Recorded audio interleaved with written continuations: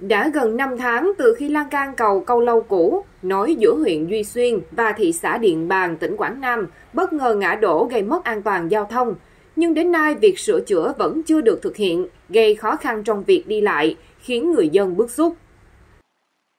Ghi nhận tại cầu Câu Lâu cũ, hiện các lan can của cầu đã xuống cấp, nhiều đoạn nghiêng ngã, xuất hiện vết nứt rãnh kéo dài đến 1 mét.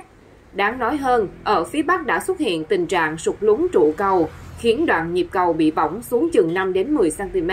Nhiều dầm, trụ đỡ của cây cầu cũng bị rơi bê tông, lộ các cấu kiện sắt thép rất nguy hiểm. Hiện thị xã Điện Bàn và huyện Duy Xuyên đã cấm bản cấm xe có tải trọng trên 5 tấn lưu thông qua cầu. Tuy nhiên, việc này khiến 585 hộ với gần 2.500 nhân khẩu của thôn Triêm Nam, phường Điện Phương, thị xã Điện Bàn bị ảnh hưởng lớn bởi đường ô tô của thôn này kết nối với cầu là lối đi chính. Hiện nay thì công trình đã xuống cấp ờ, rất là trầm trọng. Hiện nay thì tất cả các phương tiện mà trên 5 tấn thì không được lưu thông trên cái cái trục đường ờ, cầu Cô Lao ảnh hưởng rất lớn đến cái việc ờ, đi lại vận tải, vận chuyển các vật liệu xây dựng đi lại của tất cả bà con nhân dân của thị trấn Nam Phước thì đây là cũng cũng mong muốn là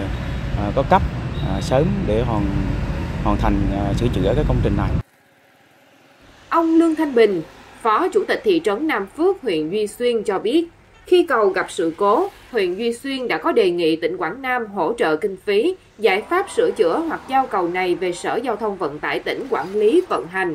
Từ chỉ đạo của Ủy ban Nhân dân tỉnh Quảng Nam, Sở Giao thông Vận tải tỉnh Quảng Nam có công văn đề nghị Ủy ban Nhân dân huyện Duy Xuyên cho mượn hồ sơ lưu trữ về cây cầu này để thực hiện công tác quản lý sửa chữa.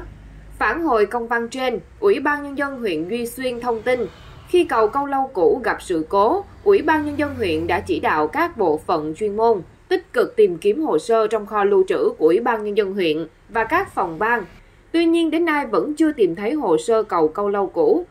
Ông Trần Ngọc Thanh, Phó Giám đốc Sở Giao thông Vận tải tỉnh Quảng Nam cho biết, chúng tôi gặp khó khăn trong quá trình kiểm tra do hồ sơ cũ theo thiết kế ban đầu và hồ sơ hoàn công bị thất lạc